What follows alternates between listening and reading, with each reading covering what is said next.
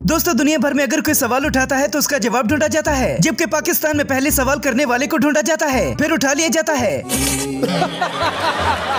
बाबा जी फरमाते हैं कि पटवारी गर्मी से कम और इमरान खान से ज़्यादा जलते हैं। पटवारियों को अगर ज़िंदगी की दौड़ में कामयाबी हासिल करनी हो तो उन्हें चाहिए कि ये सोचकर भागें कि वो नंगे हैं और उनके पीछे इमरान खान लगा हुआ है।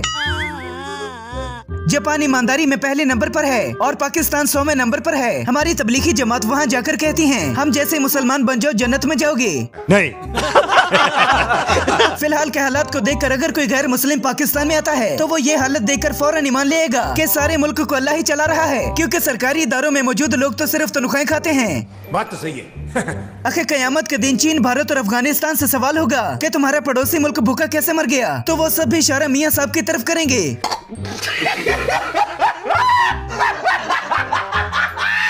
मियाँ साहब छोटे चेतन से बार बार ये गुजारिश कर रहे हैं कि खुदारा खान को जल्दी से छोड़ दो, वरना वो हमें कहीं का नहीं छोड़ेगा।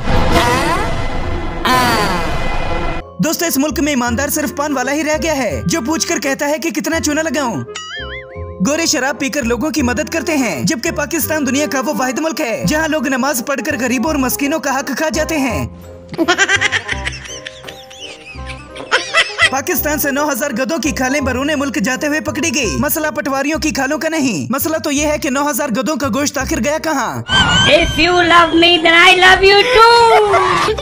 साले का खोपड़ी तोड़ खोपड़ी तोड़ साले। छोटे चेतन फरमाते हैं कि हर बुज़ुर्ग की बात में हिकमत न ढूंढे। कुछ मेरे जैसे बेवकूफ़ लोग भी बूढ़े हो जाते हैं। कैसा लगा मेरा मज़ाक?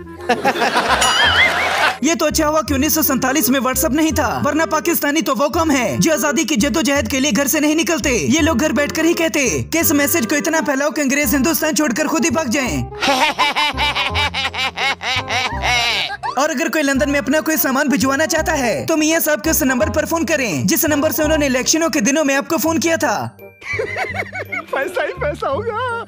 दोस्तों आज की वीडियो में हम आपको पाकिस्तानी सियासतदानों की बहुत सारी फनी वीडियोस दिखाने वाले हैं लेकिन इससे पहले आपसे गुजारिश है कि हमारे चैनल को सब्सक्राइब करके इस वीडियो को लाजमी से लाइक कर दें। दोस्तों पटवारी और जेले तो अब एक हुए हैं। इलेक्शन से पहले इनका हाल कुछ ऐसा था। तुम्हारा क्या बैकग्राउंड है? बहुत अच्छा बैकग्राउंड गटर से उठ के। आए हो बैकग्राउंड ये तुम्हारा है गटर से उठ के। आए ना कुछ सब नहीं बैठे लगे तुम्हारा क्या चल, चल, चल। तुम्हारा क्या बहुत अच्छा है, पूछो। जली ना तेरी भी जली ना। बिल्लो रानी जब स्टेज पर तकरीर करती है तो बड़े बड़े अरबी हफ्शी सुन पड़ जाते हैं जबकि पंजाबियों का हासा निकल जाता है। बीबी का बेटा भुट्टो का नवासा। उस वक्त गरीब खुदा बख्श में खड़े होकर कहता कि मुझे अपनी माँ का कातिल का सर चाहिए? को पैसा बर्बाद पहन चोर। आजकल लोग सलाम करने के बाद हाल चाल नहीं पूछते बल्कि ये पूछते हैं हाँ जी बेल किनाया जे। सलामकुम बेल की ना आया छोटे चेतन अपनी आवाम के लिए इतने खास हो चुके हैं कि अब तो हर बंदा उनके लिए दिल से शेर लिखने लग गया है। शेर से इख्तिताम करूँगा। मेरे बस में होता मैं खरीद लेता ये शबाज खोता। मेरे बस में होता मैं खरीद लेता ये शबाज खोता। कभी मैं सवार होता कभी तू सवार होता। दोस्तों हर युवती ने ये खबर उठा रखी थी कि नानी साहिबा दूध क्यों नहीं पिला रही? अब आप अपनी आँखों से दूध देख सकते हैं।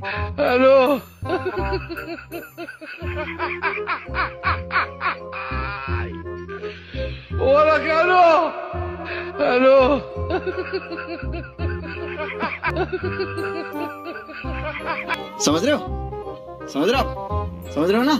नून लीग वो वाहिद सियासी जमात है जिसके नुमाइंदे बहस छेड़कर खुद मिन्नतों पर आ जाते हैं। वो नहीं था जिसने कहा था मेरी लंदन तो क्या पाकिस्तान में जायदाद अब अब गुस्सा नहीं करना ना भाई साहब क्या ये किसने कहा गुस्सा नहीं पहले ये बताइए किसने कहा काशिफ सर ये किसने कहा मेरी बात से मुझे सिर्फ़ इतना बता दीजिए किसने कहा था कि मेरी लंदन तो क्या पाकिस्तान दोस्तों खान साहब ने सही कहा था कि गुलाम कौम हमेशा गुलाम ही रहती है और उससे बेहतर वो सिर्फ़ अच्छे गुलाम ही बन सकते हैं।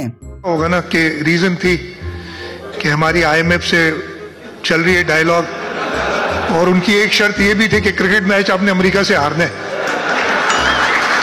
तो हम इसलिए हार गए। लेकिन आज हमने हिंदुस्तान को मज़ा चखाना हमने हिंदुस्तान को बेवकूफ़ बनाने के लिए राइट का इंडिकेटर दिया, हम मुड़ेंगे लेफ़्ट को। और हमारे छोटे चेतन जहाँ जलसा करने जाते हैं तो ऐसे ही शुगल मेले में किसी को भी उठाकर नीचे फेंक देते हैं। पता नहीं ये पैदाइशी कमले हैं ये जानबूझकर करते हैं।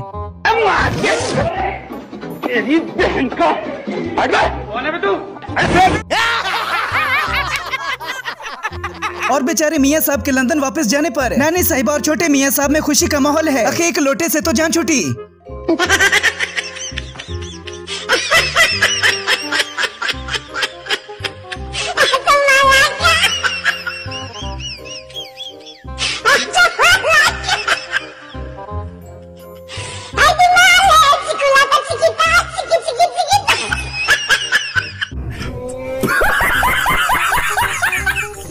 कि जब छोटे चेतन बोलते हैं तो उन्हें चुप करवाने के लिए मुँह पर हाथ रखना पड़ता है, वरना ये सारा प्रोग्राम बांट देते हैं। वो नवाज़ शरीफ उस वक्त फौजियों के कदमों में बैठता था। आज पाकिस्तान के हवाले से मैं नवाज़ शरीफ को बताना चाहता हूँ, वो वीडियो अगर इस स्क्रीन पे अगर आज चल जाती कि लंदन में आपने बैठकर पाकिस्तान की फौज और अफसरों और जवानों और शहीदों और गाजियों के बारे में जो आपने जहर उगला था। अब एक और वीडियो में नानी साहिबा भी कुछ ऐसा ही करती हैं। अच्छा वैसे मुझे पश्तो जबान से बहुत प्यार है। बहुत प्यार है। एक बात बताऊँ हमारे घर में जब खाना लगता है तो रोटी खत्म हो जाती है। तो मेरे वालिद कहते हैं रोटी लाओ रोटी दोस्तों मरियम नवाज़ के बारे में खान साहब पहले ही बता चुके थे कि ये झूठ बड़ी सफ़ाई से बोलती हैं जैसे कि इस वीडियो में मिसाल आपके सामने है। ये बताओ आप 28 मई वालों के साथ खड़े हो या 9 मई वालों के साथ खड़े हो? 9 मई वालों के साथ। कहते हैं कि मियाँ साहब के सर पर कभी इतने बाल नहीं थे कि जितनी वो आवाम से गालियाँ खा चुके हैं। इसलिए मैंने कहा था मुझे निकाला क्यों? नाराज़ मैं आज भी कहता हूँ। मुझे क्यों निकाला? तू चुप रहे बाबा तू चुप रहे हैं मौलाना साहब को भी एक वक्त में सारे यूथी हज़रत मौलाना कहने लगे थे लेकिन जरदारी को जब भी डालने इनके लिए महँगी पड़ गई hello.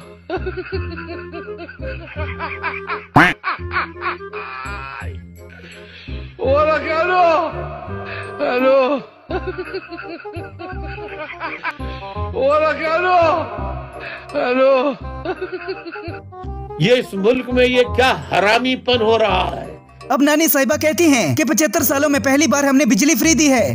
देखो कभी 75 साल में ऐसा हुआ कि आप घर में बिजली इस्तेमाल करो और महीने के बाद आपको बिल ना आए कभी ऐसा हुआ? तो ये कोई एहसान नहीं है। मेरा बस चले तो सारा कुछ लाकर आपके कदमों में डाल दूँ।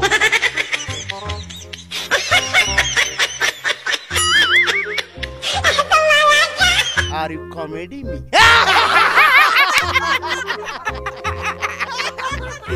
दोस्तों, ये थी हमारी आज की वीडियो। उम्मीद करता हूँ कि ये वीडियो आपको बहुत ज़्यादा पसंद आई होगी। वीडियो को एंड करने से पहले आपसे गुजारिश है कि हमारे चैनल को सब्सक्राइब करके इस वीडियो को लाजमी से लाइक कर दें और साथ लगे बेल आइकन को दबाना ना भूलें, ताकि हमारी हर आने वाली नई वीडियो आप सबसे पहले देख सके। मिलते हैं एक और वीडियो में, तब तक के लिए खुदा हाफिज।